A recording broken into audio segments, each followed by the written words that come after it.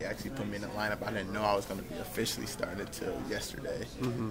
But um, I mean, I was getting starters. I mean, I was with the starters, and uh, you know, we got some reps. What's going through your mind as you're preparing for that first start, and then how do you feel you were able to do?